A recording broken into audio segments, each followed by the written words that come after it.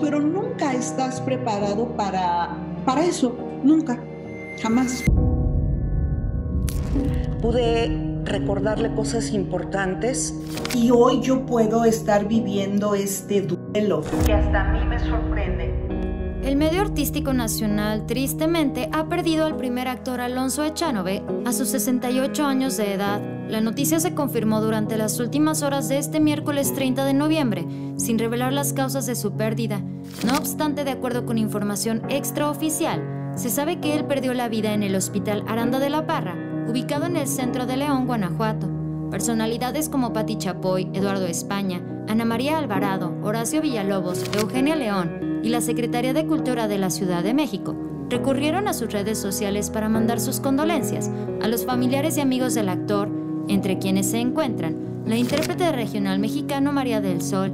La cantante permaneció ausente del ojo público hasta la mañana de este jueves primero de diciembre, cuando reapareció en su cuenta de Instagram para confirmar la noticia de su hermano, dedicarle unas sentidas palabras y agradecer las muestras de cariño que ha recibido por parte de sus seres queridos, fans y colegas.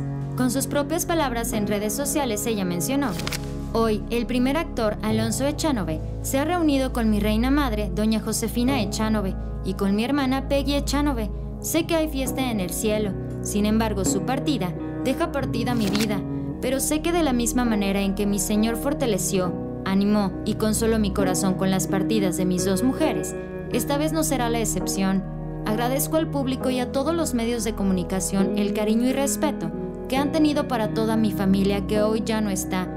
Como dice Filipenses en su capítulo 4 del 6 al 7, no se preocupen por nada, en cambio oren por todo.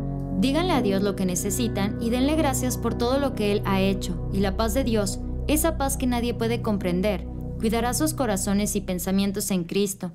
Esta es la tercera pérdida familiar que tiene María del Sol en aproximadamente 24 meses. Y es que en diciembre del 2022, cuando estaba preparándose para recibir un nuevo año, perdió a su madre, la primera actriz Josefina Echanove.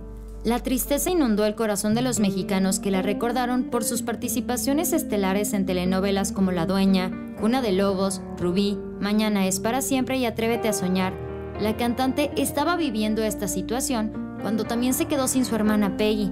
La noticia se confirmó el 1 de marzo del 2021.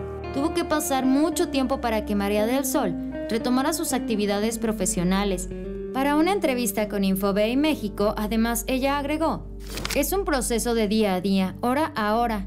Hay momentos de mucha extrañancia, como yo le digo, y es también un momento para enfocarme en lo bueno. Sé que hoy mi hermana y mi mamá están mucho mejor, tengo esa esperanza de que las volveré a ver.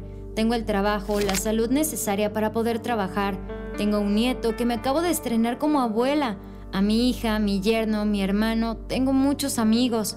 Esto fue Famosos de Cerca. Dale like a este video, suscríbete a nuestro canal de YouTube y síguenos en Facebook. Recuerda que puedes ver todos nuestros videos. Espero que tengas un hermosísimo día. Nos vemos muy pronto.